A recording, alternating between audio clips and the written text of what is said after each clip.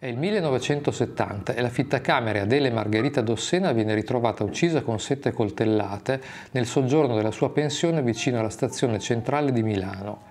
Il corpo giace riverso in una pozza di sangue sul parquet accanto a due poltrone. In mezzo alla confusione ci sono due bicchierini di liquore e un vassoio di caramelle. Nella puntata precedente abbiamo parlato dell'omicidio di Elisa Casarotto ed ora spunta una connessione inaspettata. Una foto ritrovata dimostra che Elisa e Adele si conoscevano. Questo nuovo indizio potrebbe aiutare a risolvere entrambi i casi.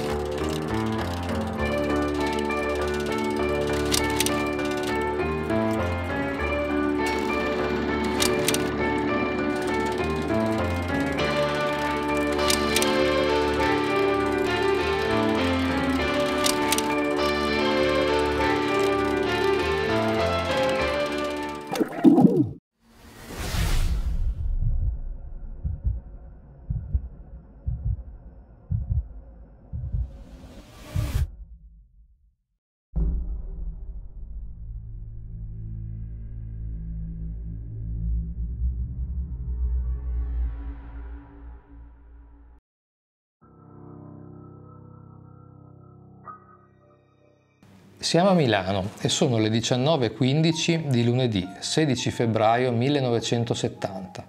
Adele Margherita Dossena, 55 anni, sta pulendo le scale della pensione che gestisce in via Copernico 18, a Porta Garibaldi, a poca distanza dalla stazione centrale di Milano. Due ore più tardi viene ritrovata morta, sgozzata e colpita con furia con sette coltellate.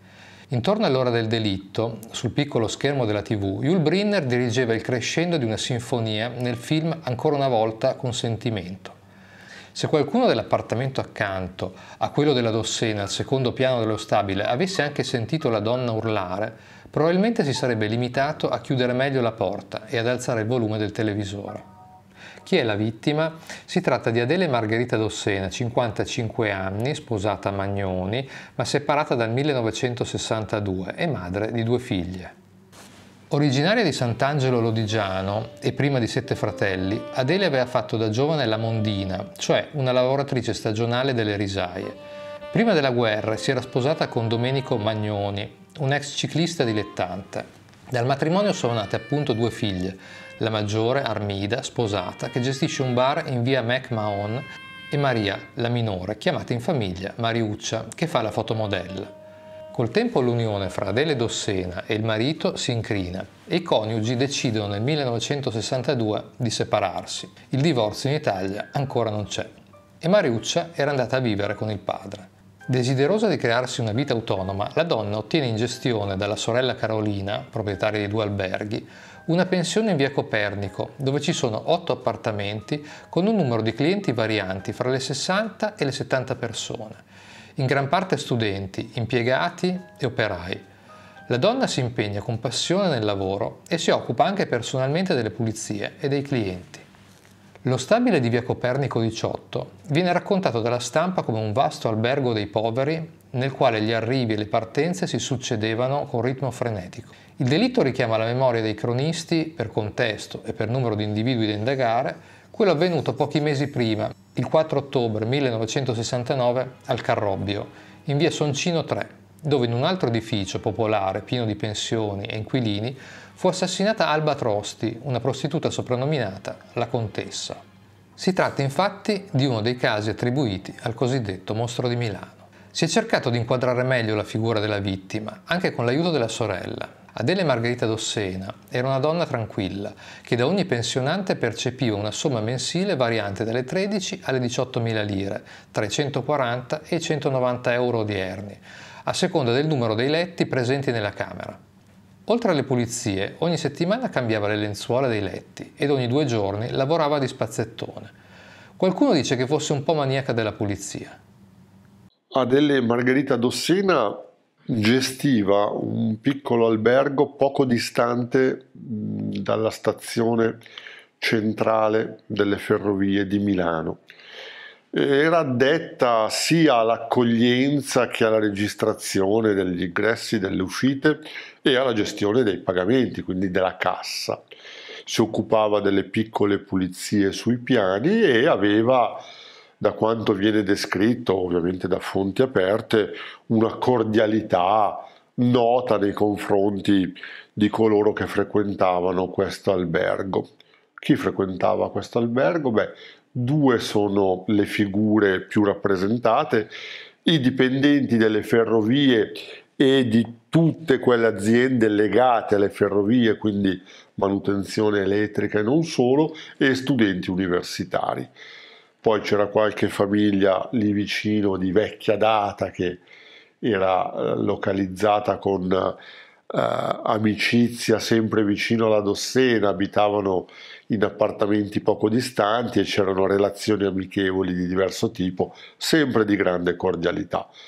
Non ci sono assolutamente evidenze di, di, di attività sospette di alcun tipo, anzi eh, cordialità, correttezza nei confronti degli ospiti e buona gestione dell'albergo erano l'etichetta che in quel momento aveva eh, questa attività di accoglienza in una strada così eh, frequentata, la via Copernico, eh, è morta per un'aggressione violenta da arma bianca. Non abbiamo elementi per avere una giustificazione, nel senso che non abbiamo un'aggressione che possiamo collegare in modo diretto, in modo certo o con ragionevole certezza nei confronti di qualcuno che si relazionasse in qualche modo con questa donna. Il delitto è stato scoperto intorno alle 22 da una certa Angiolina Ziliani, 29 anni, che abita al pian terreno e che era in buoni rapporti di amicizia con la Dossena, e dal pensionato Carmine Palmieri, 72 anni, alloggiato al quarto piano. Entrambi andavano dall'affittacamere per vedere la televisione. Sulla soglia dell'appartamento hanno trovato appeso un cartello con scritto Sono di sopra, al terzo e al quarto piano. La porta era socchiusa e quindi sono entrati come già facevano sempre, poiché erano in ottimi rapporti con la Dossena. L'affittacamere non se la sarebbe presa se li avessi trovati nel suo appartamento davanti al televisore. I due hanno acceso la luce e hanno scoperto il delitto. Adele Margherita Dossena era morta, il suo corpo si trova in mezzo ad una grossa pozza di sangue e al disordine presente nel soggiorno. Angiolina urla ed accorrono diversi pensionanti. Hanno ammazzato la Dossena, grida anche il Palmieri, e subito qualcuno telefona al 777, l'antenato del 113, e nel giro di brevi minuti arriva la polizia a bordo delle volanti. La macchina della giustizia si mette in moto e le indagini sono dirette dal sostituto procuratore della Repubblica, dottor Marini, e dal dirigente della squadra mobile, dottor Caracciolo. Il medico legale, dottor Tommasini, fissa il momento del delitto tra le 21 e le 21.30. L'assassino ha infierito sette volte. L'arma del delitto è probabilmente un coltello serramanico. È il 16 febbraio del 1970 e Adele Margherita Dossena viene trovata morta, una morte violenta, all'interno del suo appartamento. Gestisce una piccola pensione, siamo molto vicini alla stazione centrale.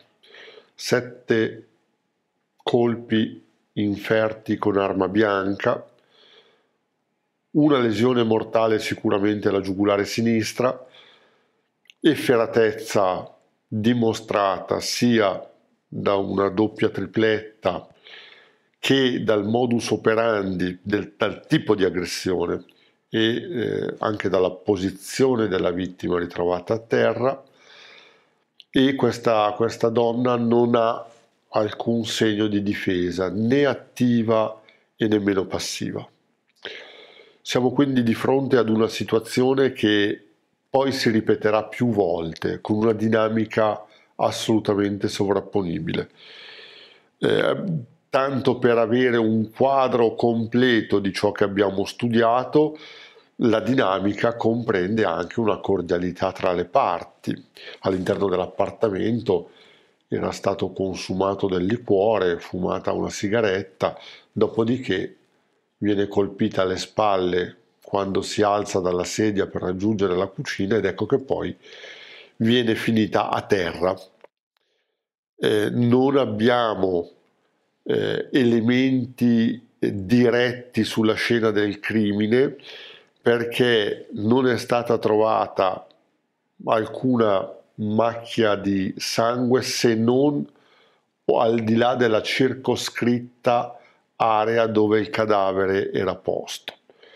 Ai margini del cadavere c'era una quantità di sangue discreta e c'erano dei frammenti di un telefono che trascinato a terra dalla, propria, dalla, dalla vittima, probabilmente con l'intenzione di difendersi anche solo col filo del telefono, ecco una volta caduto il telefono si è frantumato e questi pezzi sono rimasti impregnati di sangue vicino alla vittima, dopodiché al di là di questa area nessun'altra evidenza di sangue o di impronte lasciate dall'autore dei fatti si cominciano a raccogliere le testimonianze. Due coniugi hanno dichiarato che verso le 21 hanno sentito due voci, una maschile e una femminile, ma erano distanti. Poi hanno sentito la Dossena gridare, ma non hanno dato molto peso alla cosa, perché erano davanti alla televisione, stava per finire Carosello e stava per cominciare il film ancora una volta con sentimento. Non si sono mossi perché hanno pensato che si trattasse di un banale litigio, come accadevano di continuo in quella pensione. L'assassino avrebbe agito con eccezionale sangue freddo, mettendosi poi a frugare affannosamente alla ricerca di denaro, oppure di qualcosa per lui compromettente, e alla fine si è anche lavato le mani. Dopo essersi ripulito, si è allontanato tranquillamente, confondendosi con le persone che scendevano o salivano le scale. Non ha avuto difficoltà a uscire dallo stabile perché il portone è sempre aperto giorno e notte per facilitare il via vai dei pensionanti.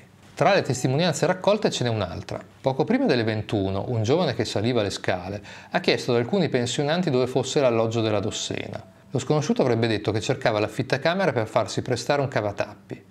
Era un giovane di media statura vestito di scuro e con i capelli scuri. I pensionati gli indicano quindi l'appartamento della Dossena. Alle 19 la Dossena è stata vista da alcune vicine mentre lavava le scale davanti alla sua abitazione. Alle 20.30 due clienti della pensione avevano socchiuso la porta del soggiorno, notando che c'era molto disordine e non dando importanza al fatto che qualche oggetto fosse sottosopra. Erano i segni del passaggio dell'assassino. Per stabilire l'ora esatta del delitto, gli inquirenti chiesero a tutti se avessero visto qualcosa nell'intervallo tra le 19 e le 20.30, ma la risposta fu negativa. A causa del disordine lasciato dall'omicida all'interno dell'appartamento, si pensa inizialmente a una rapina. Adele diceva di essere sempre a corto di quattrini, ma in realtà doveva avere qualcosa da parte. C'è poi chi sostiene che i soldi non li teneva in banca, ma li nascondesse in casa, in tanti piccoli anfratti. La polizia, perquisendo l'appartamento, ha trovato nel sacchetto del pane secco in frigorifero 50.000 lire e altre 200.000 lire in un cassetto dell'armadio. Però le cose non sono come sembrano. In mezzo al disordine ci sono due bicchierini di liquore sul tavolino, accanto a un vassoio contenente delle caramelle sperlari, un orologio d'oro e un anello. Chi è quella persona che offre da bere a un ladro occasionale? La rapina è stata inscenata? Per l'omicidio di Adele Margherita Dossena si prospettarono principalmente due ipotesi. La prima è quella di un delitto commesso da un ladro intento a rubare, sulla scena del crimine c'era molto disordine, in parte causato dalla colluttazione ingaggiata con la vittima che si era difesa disperatamente e poi l'assassino ha frugato dappertutto. I cassetti erano aperti, alcuni rovesciati sul pavimento ed aveva addirittura rovistato sotto i materassi. Cercava qualcosa. Cosa ha portato via? Non si sa. Sicuramente non una grossa somma di denaro non vengono toccati oggetti di valore in bella vista e poi ci sono quei bicchierini di liquore e quel vassoio di caramelle sperlari che in genere non si offrono ai ladri. Adele Margherita d'Ossea non teneva grosse somme in casa. Andava regolarmente a fare depositi in banca e sapeva benissimo che tra i suoi pensionanti potevano esserci anche dei malintenzionati.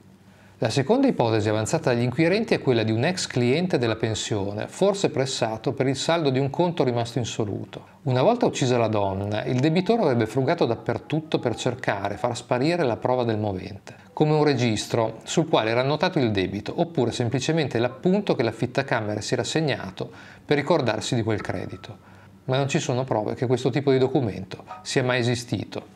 Tra i clienti della Dossena non c'era soltanto povera gente e onesta. Più volte la donna aveva presentato degli esposti al commissariato contro ospiti che si erano rivelati dei poco di buono. Il registro della pensione venne comunque esaminato scrupolosamente dalla squadra mobile, dal quale ricavarono nominativi da interrogare. In quei giorni, dalle prime indagini, vengono ascoltati 25 dei 76 ospiti. Alcuni di questi non sono rientrati la notte in cui avvenne il delitto, ma non è un particolare significativo perché non era la prima volta che accadeva. La figlia maggiore di Adele, Armida, in un'intervista al Corriere della Sera ha raccontato che sua madre, stanca di continue dispute con i clienti che non volevano pagare o si facevano rincorrere per pagare, aveva deciso di selezionare meglio gli ospiti della pensione tra quelli che avevano un lavoro fisso. In passato molti se n'erano andati senza saldare il conto e lei aveva dovuto denunciare queste circostanze al vicino commissariato Garibaldi. Chi può escludere dunque che uno di questi ex clienti possa essere l'assassino? Per avere ulteriori particolari, gli inquirenti hanno interrogato per molto tempo il marito di Adele e le due figlie. Vengono inoltre rintracciati gli indiziati della prima ora, tra cui il personaggio misterioso che sembrava avere un appuntamento con l'affittacamere. Si trattava di un innocente operaio che alla fine del mese precedente si era presentato per saldare il conto. La dossena non c'era e lui aveva lasciato un biglietto con scritto torno alle 18.30 per la questione. Il foglietto era stato chissà perché conservato e aveva portato a credere che risalisse alla stessa giornata del delitto. Venne visto anche un giovane in giacca bianca salire proprio qualche minuto prima del delitto, ma si trattava di un cameriere di un vicino ristorante che veniva nel tentativo di cercare un pensionante che non aveva pagato il conto. Il cameriere avrebbe dovuto domandare informazioni proprio alla dossena per cercare di identificarlo, però non l'ha trovata e se n'è andato. C'è un'altra pista. Si tratta di un cliente della pensione di 27 anni. Alcune fonti lo riportano di origine calabresi, altre di origini pugliesi. A richiesta si mette a collaborare anche la squadra mobile di Trieste, perché in quella città risiede la moglie dell'uomo. La donna, interrogata, ha detto di non sapere dove fosse il marito, che da qualche giorno non si faceva vivo. Sul conto di questo personaggio la polizia avrebbe raccolto una circostanza che potrebbe essere significativa. Il giovane recentemente aveva confidato la sua intenzione di voler fare una rapina ad un amico gioielliere e da tal proposito aveva mostrato un coltello a serramanico al testimone che lo accusa. Ma presto anche questa pista sfuma. L'uomo viene rintracciato mentre dormiva in macchina nei pressi della stazione centrale e dal suo racconto è venuta fuori una storia pietosa. Carlo, questo era il suo nome, è un diplomato che per una serie di circostanze avverse era rimasto disoccupato. Pieno comunque di buona volontà, si era adattato a fare il facchino e aveva alloggiato qualche volta alla pensione di Adele Dossena. Solo di recente aveva trovato una migliore sistemazione presso un'azienda e, per risparmiare il più possibile e inviare soldi alla moglie abitante a Trieste con i due figlioletti, aveva deciso di dormire in stazione. Per questo era misteriosamente scomparso. Alla polizia ha raccontato di aver visto l'affittacamere una decina di giorni prima del delitto, quando le aveva portato in dono due libri per la nipotina. La storia ha trovato conferma in ogni particolare e Carlo è stato subito rilasciato. Nel corso delle indagini, la squadra mobile ha identificato uno degli aggressori di una modella per pittori, una certa Anna De Alli, che era stata minacciata con un coltello alla gola domenica notte, quella prima del delitto, sul pianerottolo di casa. Dei ladri erano intenti a prelevare un dipinto di valore di Lucio Fontana, dal valore di 1.700.000 lire. La giovane era sorpreso dai ladri nel suo appartamento al quarto piano, che avevano già prelevato altre tele di noti autori contemporanei, tra cui anche due opere di Picasso. Uno di essi tappò la bocca alla ragazza con una mano, mentre con l'altra la minacciò con un coltello. Anna De Alli, accompagnata in questura, riconobbe in una foto segnaletica il suo aggressore. Questo era un certo Carmine, un pregiudicato sulla Trentina che venne denunciato per rapina. Si tratta di un ex corniciaio e l'abilità con cui staccava con una lama le tele dalle cornici ha contribuito ad accusarlo per l'omicidio di Adele Dossena, ma non basta, perché nulla lo lega alla vittima e alla pensione. Si scava ulteriormente nella vita privata di Adele e gli inquirenti scoprono che la donna era solita frequentare il sabato o la domenica alcune sale da ballo di periferia e dove potrebbe aver fatto altre conoscenze.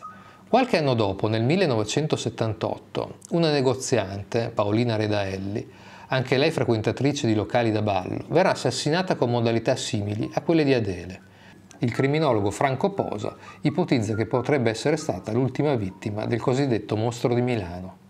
A conforto delle nostre attività esistono comunque sempre da fonti aperte eh, racconti dove Più volte viene descritta la frequentazione di alcune balere o cinema in zona Buenos Aires, per esempio, dove nel pomeriggio più di una delle donne uccise dal possibile serial killer milanese eh, frequentavano, frequentavano con lo scopo probabilmente di incontrarsi amichevolmente e chi aveva una doppia vita probabilmente anche di organizzare gli incontri per soddisfare la propria seconda attività.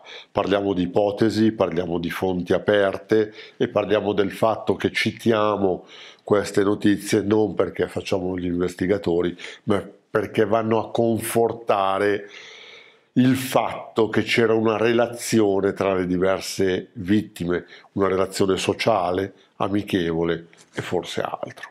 Passano quattro anni e non si riesce a scoprire il colpevole. La figlia minore di Adele, Mariuccia Magnoni, nel frattempo ha smesso di fare la modella e si è trasferita a Roma per fare l'attrice. Ha avuto successo e ha iniziato a lavorare nel mondo del cinema con il nome d'arte di Agostina Belli.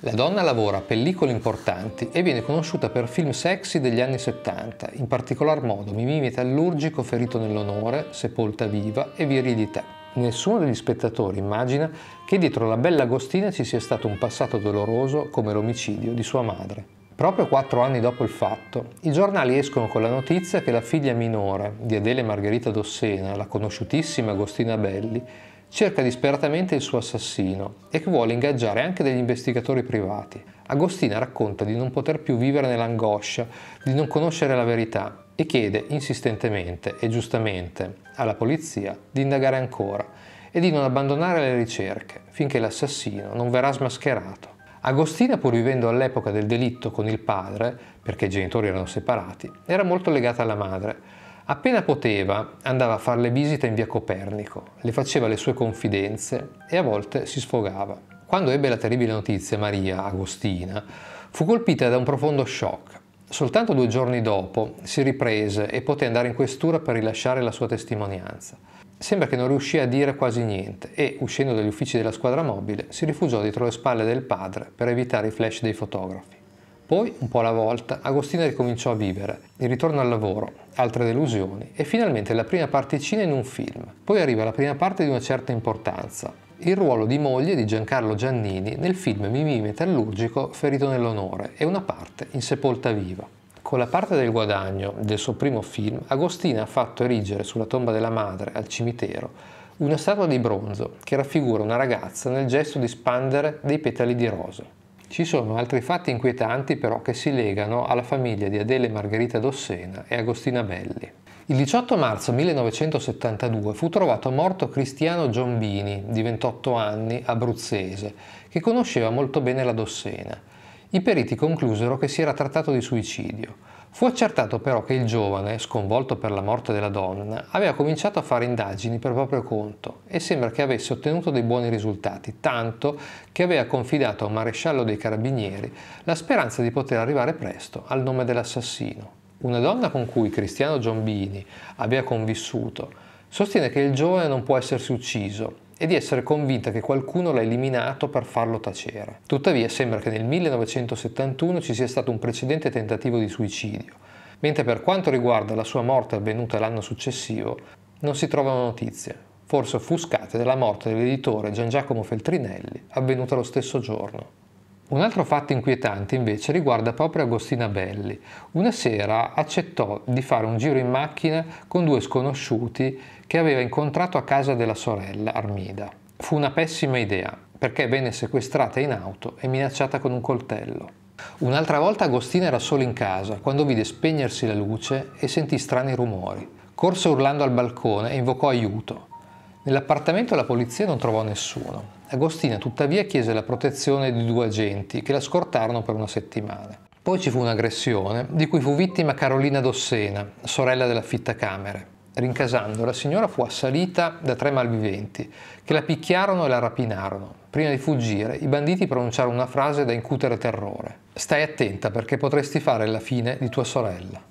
Il 9 ottobre 1976 piomba un'altra tragedia nella vita di Agostina Belli. Sei anni dopo l'omicidio di sua madre, la zia paterna è stata trovata morta a Milano nel suo monolocale. Eleonora Magnoni, 72 anni, si era impiccata. La donna viveva da sola in via Polesine 6, a Porta Romana, in un modesto e piccolissimo locale di una casa popolare. Eleonora era la sorella del papà di Agostina ed era stato lui a scoprire il cadavere della donna, non riuscendo ad avere sue notizie. Eleonora stravedeva per la sua nipote Mariuccia e la sua casa era piena di album di fotografie di lei, che portava spesso con sé, perfino quando andava a fare la spesa, per farli vedere alla portinaia o al salumiere. Ma quel giorno, forse colpita da un'improvvisa crisi di depressione, si è alzata, si è vestita, ha preso un pezzo di corda, l'ha legato attorno alla maniglia di una finestra e si è lasciata andare. Sembra non sia stato trovato nessun biglietto di addio. Nel 2021, in seguito alle notizie riportate dal Corriere della Sera sul possibile collegamento fra otto omicidi avvenuti a Milano fra il 1963 e il 1976, tra le foto delle vittime pubblicate, Agostina Belli, oltre a quella della madre, ne riconosce un'altra. Si tratta di Elisa Casarotto, un caso che abbiamo già affrontato in un'altra puntata. Grazie al lavoro del giornalista Andrea Galli del Corriere della Sera e a quello del criminologo Franco Posa, che ha collegato gli omicidi e condotto le autopsie psicologiche su coloro che hanno avuto a che fare con le vittime, si scopre che esiste una foto che ritrae Adele Margherita Dossena ed Elisa Casarotto in gita al lago. Agostina Belli racconta che sua madre ed Elisa erano amiche, molto amiche. Nonostante i vent'anni di differenza e le vie diametralmente opposte percorse nella vita, la Dossena con una famiglia, una pensione vicino alla stazione centrale, mentre la Casarotto, che era un'ex parrucchiera che nel 1964 si prostituiva in un pioppeto dell'Interland milanese dove poi verrà trovata assassinata, le due sicuramente si frequentavano. Agostino infatti ricorda le loro gite. Ma qualcuno aveva collegato questi delitti? Abbiamo poi cercato probabilmente usare il termine conforto è corretto, insomma in, quello, in tutta quell'attività così importante dal punto di vista tecnico e scientifico. Abbiamo cercato di consolidare quelle che erano le nostre prime ipotesi oggettivamente già verificate comunque ed ecco che arriviamo anche ad ascoltare alcuni investigatori che operarono direttamente sulla scena del crimine e il feedback fu immediatamente positivo, nel senso che chi lavorava su quei casi ha un ricordo molto lucido del fatto che l'autore di quegli omicidi potesse essere una mano unica.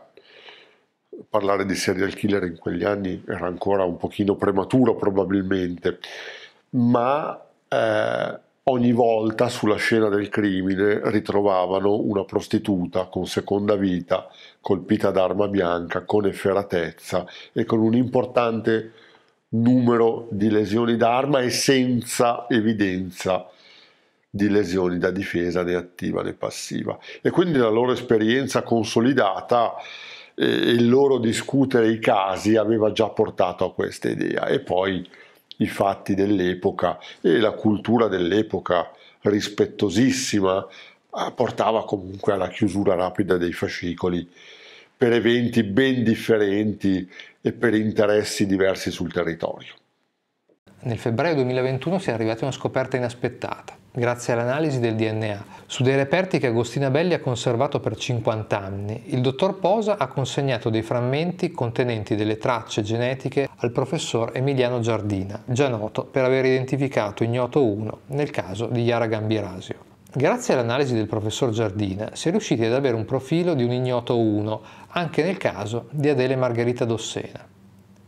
Grazie al recupero di materiale biologico ottenuto direttamente dalla scena del crimine, il passo successivo è stato quello, oltre alla comunicazione alle autorità, di passare il materiale al professor Giardina, Università di Tor Vergata a Roma, per ipotizzare l'estrazione di un DNA su materiale che è candidato per questo tipo di attività. Quindi nostra valutazione eh, che ha permesso di verificare la presenza su questi pezzi recuperati di materiale biologico, dopo la conferma passaggio al professor Giardina, che eh, evidentemente ancora ha confermato l'opportunità dell'estrazione comunicazione alle autorità dovuta, dopodiché l'attesa per gli eventuali sviluppi sul come procedere. È chiaro che DNA significa eventualmente eh, trovare quello che si cita come ignoto 1, però tutto questo è un capitolo che può nascere dal DNA che abbiamo messo a disposizione e questo è un evento che ha portato clamore perché è il recupero da una scena del crimine, attenzione, non da una riesumazione o d'altro, ma da una scena del crimine, una conservazione silenziosa occultata per 50 anni e poi arriviamo ad avere in laboratorio materiale biologico. E questo è stato interessante anche da descrivere in comunità scientifica, in alcune sedi congressuali, soprattutto negli Stati Uniti, citando evidentemente il risultato ottenuto dall'applicazione del PASIC, autopsia psicologica. In seguito alla pubblicazione degli articoli del 1974, dove l'attrice chiedeva giustizia per sua madre, le avvelenano prima il cane, poi le rubano la macchina. Agostina non ha pace, iniziano anche una serie di telefonate anonime con voci camuffate, come nei film, che le dicevano di smetterla e che avrebbe fatto una brutta fine, quella di sua madre. Agostina fece denuncia e le consigliarono di lasciar perdere quella storia. Le diedero addirittura il porto d'armi e lei, spaventata, smise per anni la ricerca degli assassini, di sua madre. Io personalmente eh, ho applicato alla figlia della povera vittima eh, Adele Margherita Dossena, ho applicato l'autopsia psicologica. Agostina Belli, figlia della vittima Dossena, eh, è stata ascoltata da me per molte settimane con una tecnica innovativa di autopsia psicologica chiamata PASIC. Eh, con questa attività accade che eh, una notte notte Agostina Belli mi chiama al telefono dicendomi con parole sue, con un certo colore e con una certa enfasi che si aspettava il mio arrivo dopo tanti tanti anni, si aspettava l'arrivo di una persona capace di dare giustizia o ragione a ciò che è accaduto a sua mamma. Ed ecco che mi descrive che lei la notte in cui la mamma fu uccisa arrivò sul posto in automobile con il papà. Restò in automobile, il papà entrò nell'appartamento e condivise tutte le attività necessarie con la forza pubblica presente, poi una serie di curiosi sulla strada, fino a che la situazione cominciò a tranquillizzarsi e una volta che tutti furono al di fuori dell'appartamento, Agostina scese dall'automobile e in modo autonomo entrò nell'appartamento. Si avvicinò alla povera mamma e si trovò di fronte la mamma distesa con una quantità di sangue intorno a sé importante e con dei pezzetti di plastica neri che derivavano dal fatto che era stato strappato, era caduto a terra un telefono e si era frantumato. Questi pezzetti immersi nel sangue furono raccolti da Agostina Belli con un coltellino, li prese e li racchiuse all'interno di una piccola scatolina dove aveva conservato un anellino e poi, posti in una valigia a casa sua, restarono lì. Restarono lì fino a che l'arrivo della mia attività e della nostra relazione nata grazie all'autopsia psicologica non ha portato a questa telefonata e al veloce recupero del materiale prezioso e quindi al recupero poi di materiale biologico idoneo per l'estrazione del DNA. Il clamore dal punto di vista scientifico fu dato dal risultato ottenuto con questa nuova autopsia psicologica che si chiama PASIC e la letteratura scientifica è a disposizione sulle nostre pagine web ed ecco che ad oggi abbiamo in laboratorio questo materiale e evidentemente l'estrazione potrebbe portare all'identificazione di quello che viene citato e divulgato spesso come ignoto 1. Non sappiamo quello che è stato fatto veramente per risolvere il caso, ma proviamo per gioco a fare un elenco di quello che si sarebbe potuto fare. Bisognava interrogare i pensionanti del momento e quelli che avevano soggiornato nei mesi precedenti, magari avrebbero potuto offrire motivi per essere sospettati. Bisognava indagare e interrogare quanta più gente possibile nei cosiddetti dancing di periferia, i locali da ballo dove Adele andava spesso la domenica. Il delitto aveva fatto scalpore per la ferocia con cui l'assassino aveva inferto le coltellate. Sembrava l'opera di un sadico. Il lavoro fu difficile e non si ottenne i risultati sperati, anzi quasi niente tranne sgomberare certi sospettati e restringere il campo di indagine. Fu chiarito che la vittima non aveva alcun rapporto con uomini, le piaceva andare a ballare, ma non si trovò nessuno che potesse fornire qualche utile notizia su quei locali da ballo. Furono interrogati in totale 200 persone, tra cui tutti gli inquilini della pensione, ma gli indiziati della prima ora furono tutti scagionati. Che cosa ne pensate di questo caso? Adele ed Elisa sono state entrambe vittime del cosiddetto mostro di Milano? Fatemelo sapere qui sotto nei commenti e se la trasmissione vi è piaciuta vi chiedo gentilmente di mettere un like e se non l'avete ancora fatto di iscrivervi al canale in modo da restare aggiornati. Per il resto vi saluto, vi ringrazio per il vostro supporto e ci vediamo presto.